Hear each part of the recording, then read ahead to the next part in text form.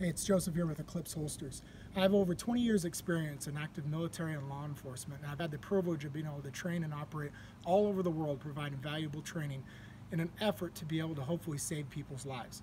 One of the biggest and most valuable pieces of equipment that we have out there and should be a part of everybody's kit should be some type of tourniquet out there. It's a cheap, inexpensive way, and we've learned that if applied quickly and accurately can be the difference between saving a life or not. One thing that we've noticed is that this tourniquet is sometimes just carried in a pocket or in a backpack and is not always accessible.